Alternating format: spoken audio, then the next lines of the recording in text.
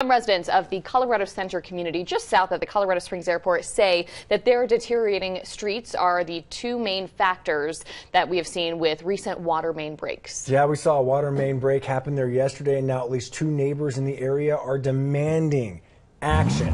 Our Scott Harrison is with us right now, live in Colorado Centre near Mark Scheffel and Bradley with more details.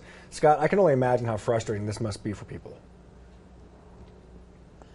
Yeah, good morning, guys. I'm standing in front of one of the two water main breaks that crews were working on here in Colorado Centre yesterday. Step out of the way and give you a look at one of them that looked like it's still pretty much well in the repair phase.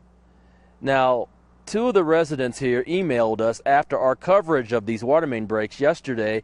They also sent us video and photos from last summer of how bad some of the streets are here.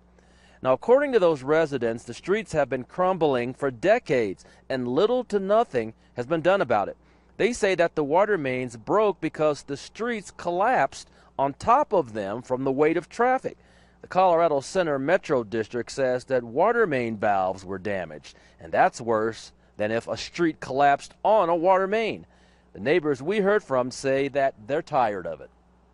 Um, the roadways have not been uh, done surfaced, maintained for the 30 years I've been here.